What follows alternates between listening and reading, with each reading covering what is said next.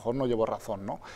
Eh, pero que creo que en el Partido Popular se deberían haber planteado a la hora de coger y, a mi entender, ir al rebufo de Vox en esta manifestación, que como todas, por supuesto, es legítima.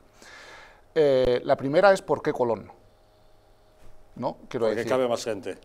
Eh, pero quiero decir, no, es, esta, un emblemático esta manifestación solo lanzo preguntas. ¿Se podría haber lanzado o realizado en otro sitio que no fuese Madrid y que no tuviera una carga tan simbólica y que no eh, tuviéramos tantos españoles, eh, bueno, por ejemplo, es donde Vox cierra sus mítines electorales.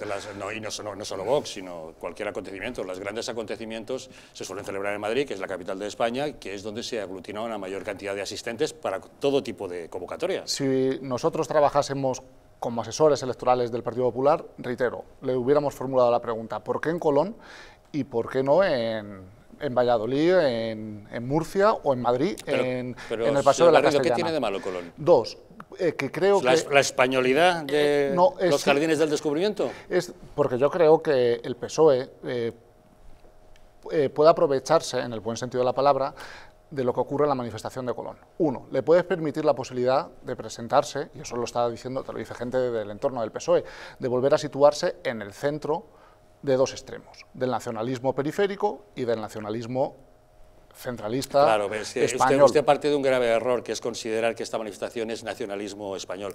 Es simple patriotismo, es defensa del Estado de Derecho, es defensa de la Constitución, y eso que yo sepa no tiene ideología ni siglas políticas en este país, eh, en esta democracia. eso es lo que creen que van a, eh, lo que creen que va a ocurrir poner en esos dos extremos. Segunda cuestión, creo que el Partido Popular se equivoca porque, aunque la manifestación no ha sido convocada por ellos, eh, es verdad que ha estado liderada o que desde luego parece que van detrás